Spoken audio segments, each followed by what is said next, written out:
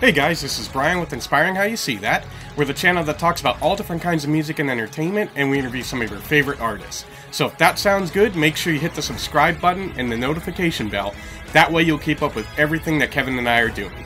And today I'm back with a brand new artist spotlight. This one's going to be a little different, and it's actually an all-female Japanese metal band called Love Bites. Now I know what you're thinking, because a lot of people do. They hear Japanese metal, they're thinking baby metal, or they're thinking it's some kind of like J pop reference. And I'm telling you, these ladies are not that at all. They are full on heavy metal and they are incredible. They actually list Iron Maiden as one of their biggest influences, and hearing their music, you can definitely hear that come through.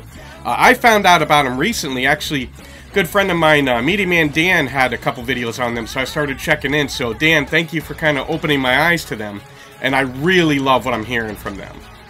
Before we go any further, we'll kind of talk about each of the band members, and uh, so if I mispronounce your names, I apologize. Again, they're, they're Japanese. So on vocals, we have Asami.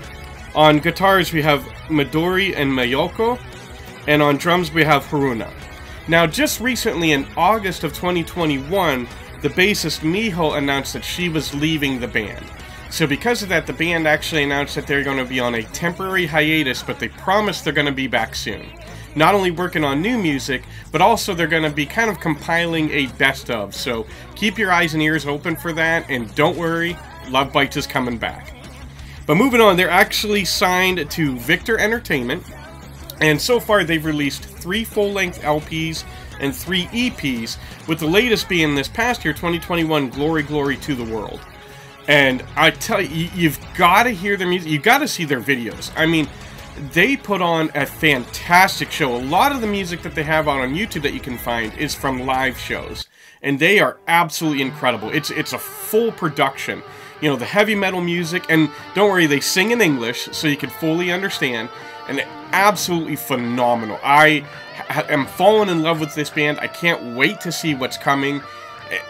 It's like I said, I mean, the sound, you can tell is influenced by Iron Maiden, but it doesn't really sound, or they don't look like anything else that I can think of.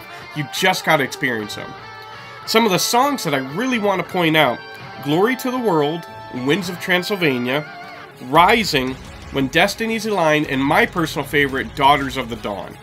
And we'll put some of them in the background. Like, as always, we'll put links down below so you can find all their information.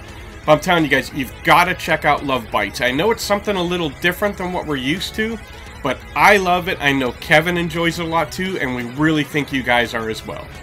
So make sure that you leave us a comment, let us know what you think of Love Bites and what you think of this video and what other bands or, you know, TV shows, whatever you might be interested that you'd love for us to check out. As always, thanks for spending this time with us. We love you guys. God bless and rock on.